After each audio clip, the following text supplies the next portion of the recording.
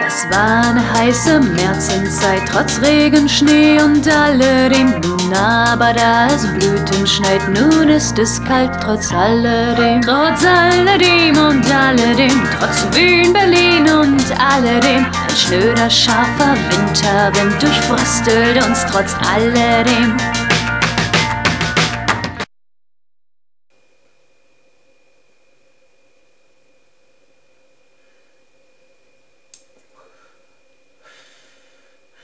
Ja, hallo zusammen. Ähm, ganz knapp, worum es gehen soll. Das ist einfach nur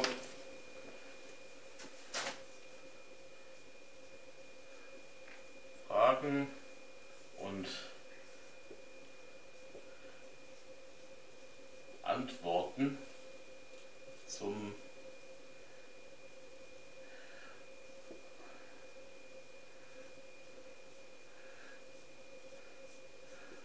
Kunststoffvideo. Ja, Link werdet ihr wieder hier irgendwo im Bild finden. Das war ja das letzte Whiteboard-Video, was ich gemacht habe. Und ja, da gab es eine Menge Reaktionen drauf.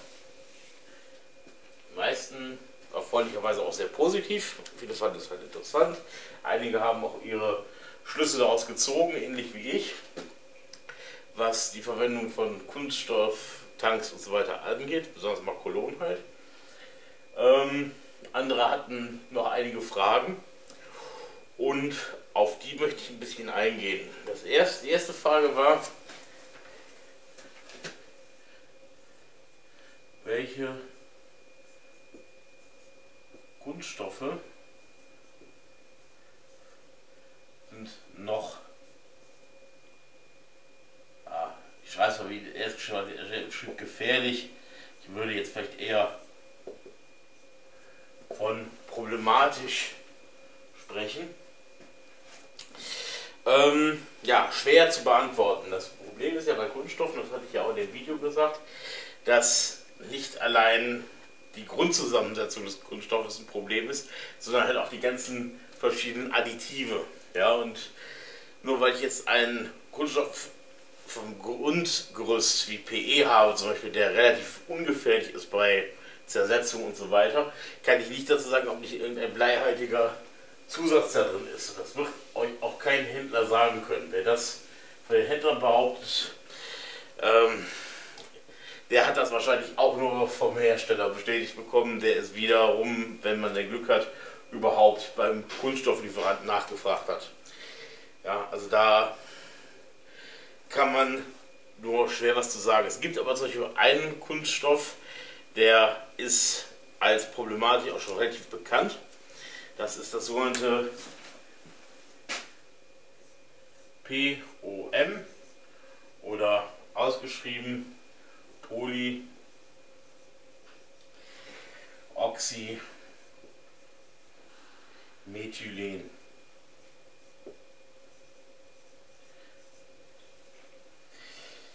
Hat man häufig, wenn man diesen Kunststoff anfasst, da riecht, besonders wenn er heiß geworden ist, dass man diesen typischen, sag mal, diesen Kunststoff-Weichmachergeruch wahrnimmt.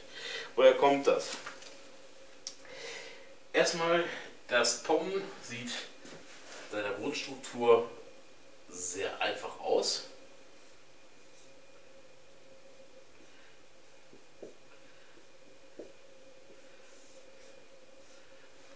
Ja, das ist eigentlich ein also dem, dem äh, Polyethylen sehr ähnlich, nur dass wir hier ein O statt dem einen äh, statt der direkten Verbindung zum nächsten Kohlenstoff haben.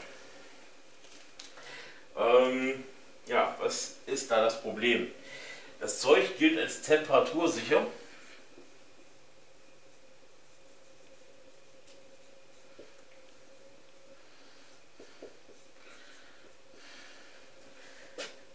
bis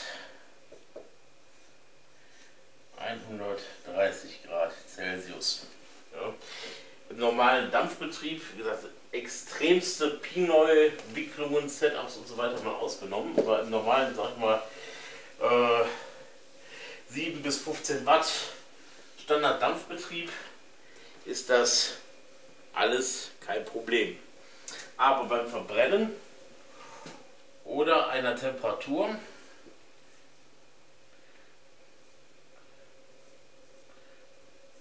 von 220 Grad Celsius, die man durchaus bei einem heftigen Driver mal erreichen kann, beginnt sich dieses Polyoxymethylen zu zersetzen.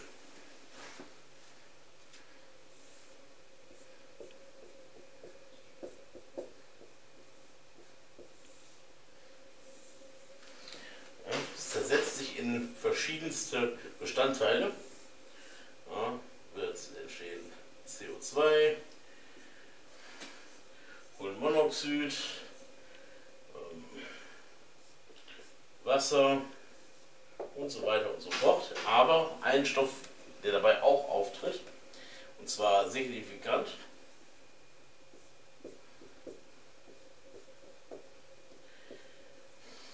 ist dieser hier. Und das ist Formaldehyd.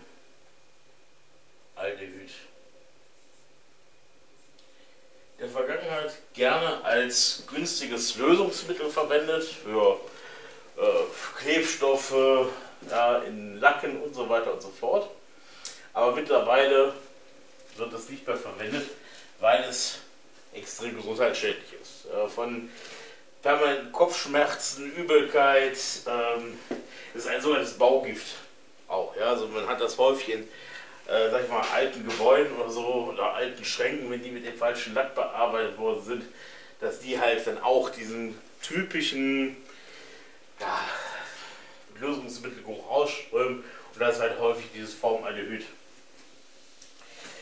Äh, wer sich da genauer informieren will, Links werde ich euch unten wieder in der Box präsentieren. Aber es ist tatsächlich auch bei kurzem und längerem Kontakt, je nachdem wie die Dosis ist, äußerst gesundheitsschädlich.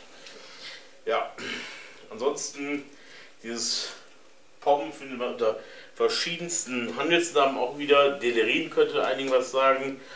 Äh, Ultraform, äh, Ticonyl, gibt es verschiedene äh, Namen für. Wird häufig verwendet für Zahnräder, elektrische Isolatoren. Im Auto findet man es häufig. Ja, diese ganzen Hebel für Blinker und Lichtschalter und sowas, die sind häufig aus dem Zeug. Reißverschlüsse an Klamotten und so weiter, Möbelbeschläge, gibt es einen Haufen Anwendungen für. Aber, soweit ich das gesehen habe, so gut wie keinen in der Lebensmittelindustrie. Ja, ich habe da nichts zu gefunden. Äh, macht mir da schon wieder ein paar Gedanken, was die Auswahl dieses Stoffes angeht, wenn es darum geht, ja, den Verdampfer zu verbauen. Ja, und äh, diese thermische Zersetzung ist natürlich nur ein Punkt. Das Ganze ist natürlich auch nur bis zu einem gewissen Grade gegenüber Lösungsmitteln und ähnlichen chemischen Stoffen stabil. Ja, deswegen ist halt dieser Geruch häufig bei diesem Kunststoff wahrnehmbar. Äh, solltet ihr tatsächlich mal an Ohrringen und Isolatoren diesen Geruch wahrnehmen, ähm, solltet ihr zumindest versuchen, ihn auszutauschen. Das bringt mich direkt zum nächsten. Und da hat jemand nach den Silikonen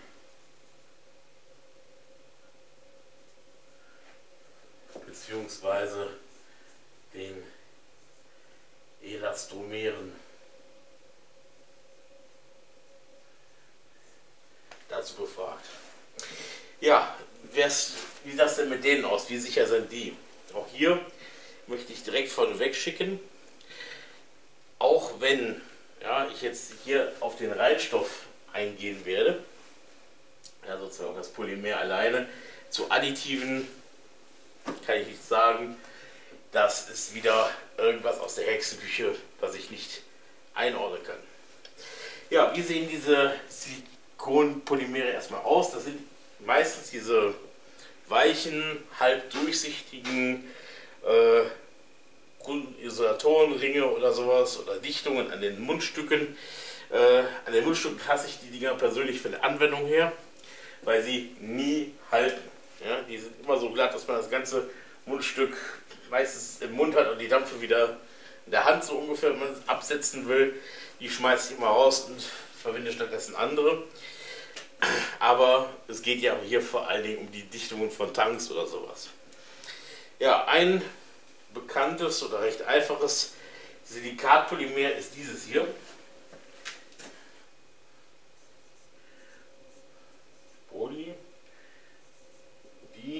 Dimethyl, Siloxan. Sieht folgendermaßen aus. Wir haben wieder eine Kette, die jetzt hier Silizium als äh, Zentralatom nicht Kohlenstoff. An dem hängen aber dann solche Methylgruppen, also CH3, oben und unten. Dann kommt ein Sauerstoff und dann folgt wieder so eine Gruppe. Das ist wieder so eine ewig lange Kette und am Ende von dieser Kette stehen dann nochmal Methylengruppen. Vorne und hinten. So wird nämlich die Länge der Kette bestimmt.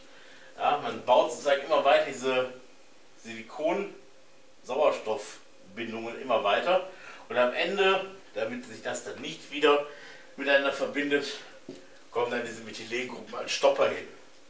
Das hier wäre zum Beispiel jetzt ein sehr äh, weicher und flüssiger Silikon, äh, Silikatpolymer, äh, ähnlich diesen Dichtstoffkartuschen hier, die man vom Bau kennt.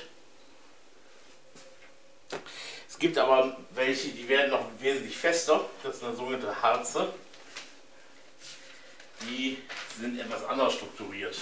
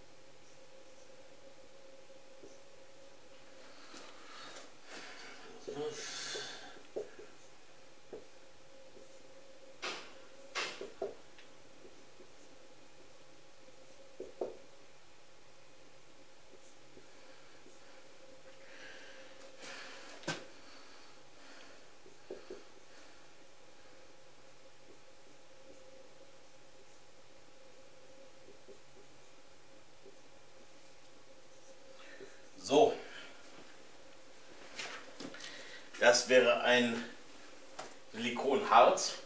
Ja, man sieht auch wieder hier überall Silikon- und Sauerstoffverbindungen, die sich zu einem Netz ausbilden. Hier oben hängen dann wieder diese Netze dran, jeweils an diesen, ja, ich habe das mal mit diesen Wellenlinien hier ange oder Blitzlinien angedeutet, weil ich ja, ein bisschen faul bin. Und hier auch wieder überall diese Methylengruppen, ja, um weitere Verzweigungen an den Stellen dann zu verhindern.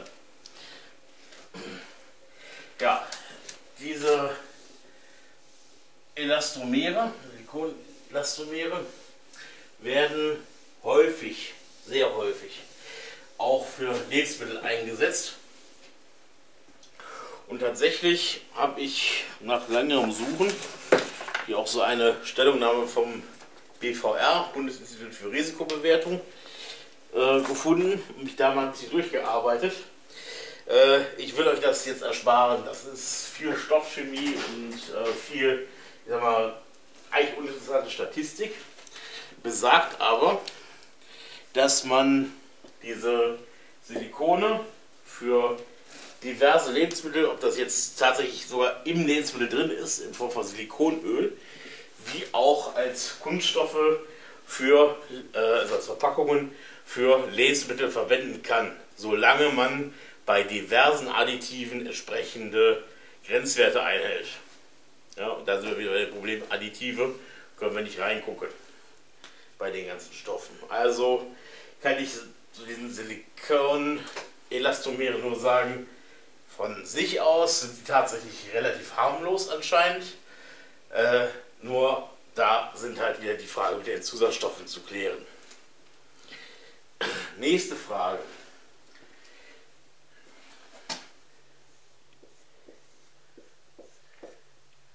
Der CD-Test. Ich hatte ja erzählt, dass Makrolon dieses durchsichtige ist, was ja, bei den CDs zeigt, auf der einen Seite diese Datenträgerschicht, auf der anderen Seite diese Beschriftung hält. Dann kam ein User auf die Idee, man könnte da doch mit seinen Liquids testen, wie weit die Makrolon angreifen.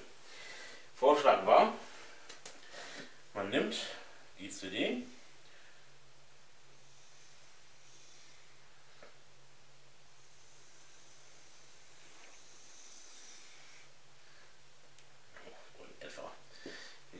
mir ist niemals ein Künstler verloren gegangen.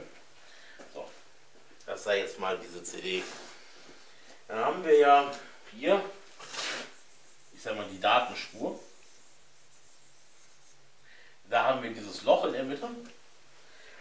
Und hier zwischen den beiden haben wir ein bisschen freiliegendes Makrolon. Jetzt könnte man hier hingehen und so ein wenig von dem Liquid an der Stelle aufbringen und einfach mal schauen, inwieweit es hier eine Reaktion gibt. Sprich, gibt es tatsächlich ein Loch oder einen Riss, der sich bildet. Verfärbt sich das Liquid, verfärbt sich das Makrolon. Ja, so wird statt durchsichtig wird es dann so ja, neblig stumpf. Dann hätte man ja schon mal vorher getestet, ist das Liquid aggressiv gegenüber Makrolon. Da sage ich ja, man kann damit zumindest extreme äh, Reaktionen auf Makrolon testen. Das funktioniert, ganz klar. Problem ist natürlich, ich sag mal, milde Reaktionen, die man nicht mit dem bloßen Auge erkennt, ja, die wird man damit natürlich nicht feststellen können. Ja, es kann ja immer noch sein, dass ihr zwar optisch keine Trübung feststellen könnt, sich aber trotzdem Teile vom BPA gelöst haben. Ja, aber ich sag mal so, bevor euch das Ganze in den Tank gibt und der Tank dann auseinanderbricht, könnt ihr durchaus mal diesen kleinen Test durchführen. Gut, letztes großes Thema, was da schon angesprochen wurde in den Kommentaren.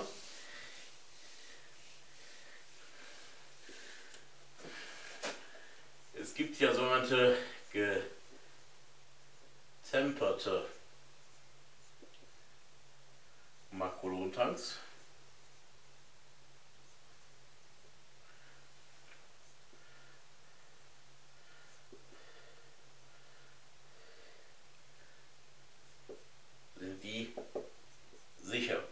bringen ja zumindest nicht auseinander. Der Fragesteller hat das Ganze schon ein bisschen, ja, wie soll ich sagen, kritisch dem Ganzen gegenüber angesprochen. Und ja, da wollen wir uns mal darüber unterhalten. Was ist Tempern? Wozu macht man das? Was ist der Vorteil und gibt es Nachteile? Wenn wir uns jetzt einfach mal so ein Stück Makrolon vorstellen, einfach so eine Platte.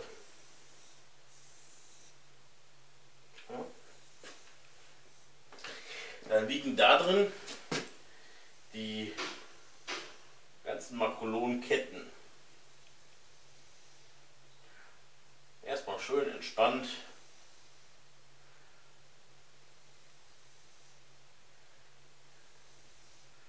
untereinander. So. So wäre das Makrolon im Auslieferungszustand. Jetzt will ich dem Ganzen eine Form geben. Ich will es verformen. Gehen wir mal davon aus, beim Tankbau würden wir es ja biegen.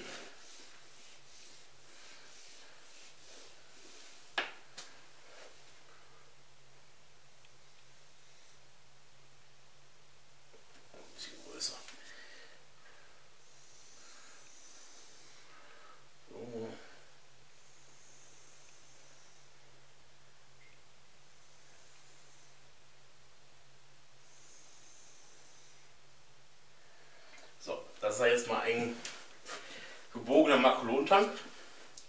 Was passiert jetzt mit diesen wunderbar aufgereihten Makrolonketten?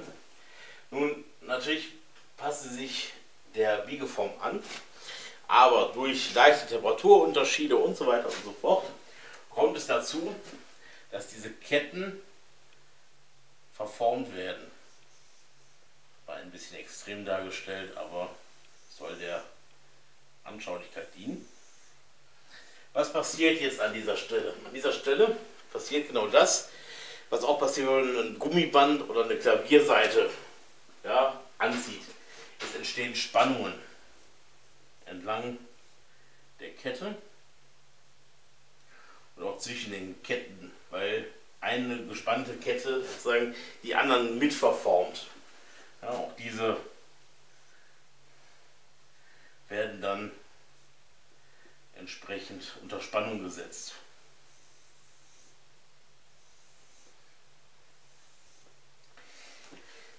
Jetzt kommt wieder so ein Eisbonbon-Liquid oder sowas daher und bohrt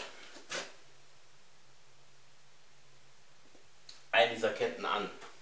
Und ihr könnt euch ja vorstellen, was passiert, wenn man so ein Gummiband, was gespannt ist, durchschneidet, es macht Ping ja, das Ganze schießt auseinander. Durch die plötzliche Entspannung werden die anderen Ketten auch direkt mit betroffen. Und so entstehen diese bekannten Spannungsrisse in den Tanks. Ja, dass diese Ketten tatsächlich entlang einer Spannungskante, deswegen sind das auch immer so schön gerade Linien, aufreißen. Das sind halt Spannungen, die schon im Material bei der Verarbeitung entstanden sind. Jetzt gibt es ja dieses Tempern, das eben diesen Effekt, dass so der Tank aufreißt, verhindert. Wie macht man das? Machen wir jetzt wieder unseren Tank. So. Mit unseren unter Spannung stehenden Machtlohnen rein. Ich nehme jetzt einfach mal zwei Rest könnt ihr euch ja denken. Man geht hin und erwärmt das Ganze.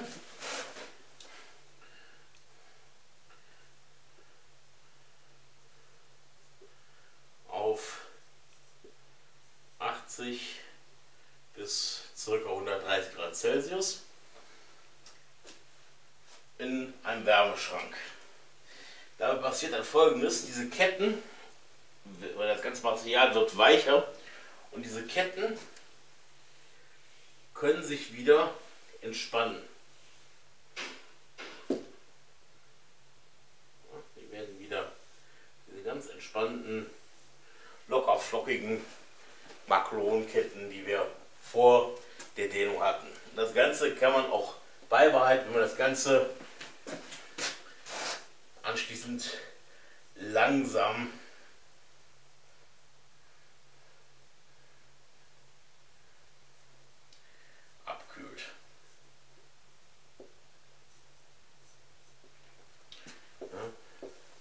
langsames Abkühlen behält man dann diese entspannten Makrolonketten. Was ist jetzt aber hier das Problem? mal ganz einfach auf der Tafel stehen lassen.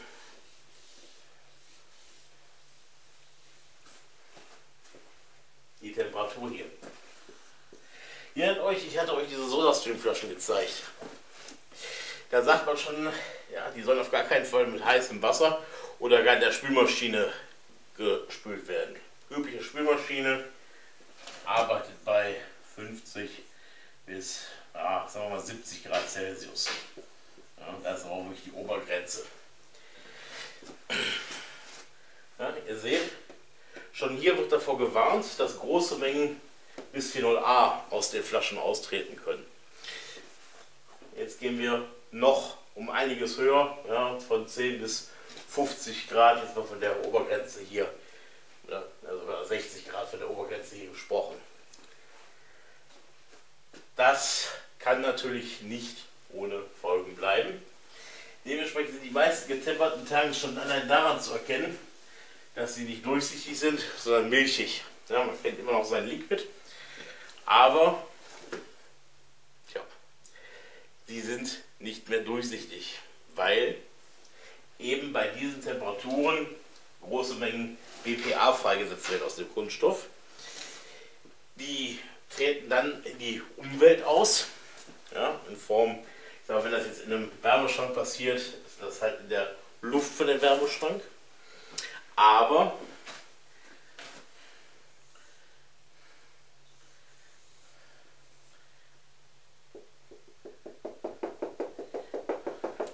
ihr habt die BPA-Moleküle auch überall an den Innen- und Außenwänden des Tanks kleben. Äh, ihr habt also von Grund darauf schon einen kontaminierten Tank, der dann auch ja, statt einem, einer großen Schwachstelle, die aufreißen kann, viele kleine, die zwar nicht aufreißen, aber BPA wieder freisetzen können. Entsprechend Tempon gleich unsicher. Ja, ihr habt zwar einen Tank, der gegen Reißen unsicher ist, der ich aber mit jede Menge köstlichem BPA im Liquid versorgt. Dementsprechend halte ich Tempern an der Stelle für Blödsinn. Bleibt dabei, Procholon ist meiner Meinung nach für solche Anwendungen wie Verdampferbau vollkommen ungeeignet. Ist so. Hat mich bisher noch keiner vom Gegenteil überzeugen können. Ja, das waren soweit die Fragen, die ihr unter mein Kunststoffvideo gepostet habt, die ich sagen wir auch mal ein bisschen ausführlicher als mit einem halben Satz äh, als Comment oder weil es mit dem Comment wieder gar nicht ging, überhaupt nicht mit den Comments beantworten konnte. Und entsprechend habt ihr jetzt dieses Video der ganzen Tatsache zu verdanken. Ähm, wenn ihr noch weitere Fragen habt, scheut euch nicht packt sie drunter. Ich tue mein Bestes, sie zu beantworten. Ja, in dem Sinne, äh, passt euch auf, bleibt gesund und man sieht sich.